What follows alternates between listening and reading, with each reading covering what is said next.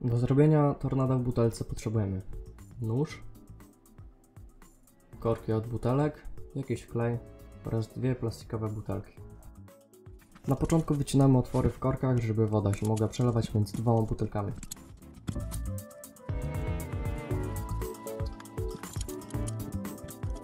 Im większy otwór, tym tornado będzie krócej trwało i woda będzie się szybciej przelewać.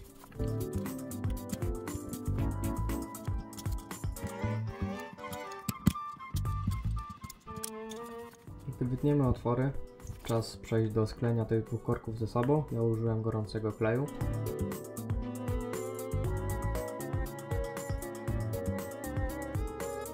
Gdy już sklejemy z sobą korki, zakładamy butelki.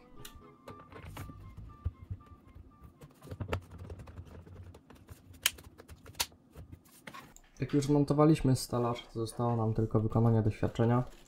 Łapiemy butelkę za korki i wykonujemy okrężny ruch dłonią, dzięki czemu siła dośrodkowa zrobi tornado w butelce.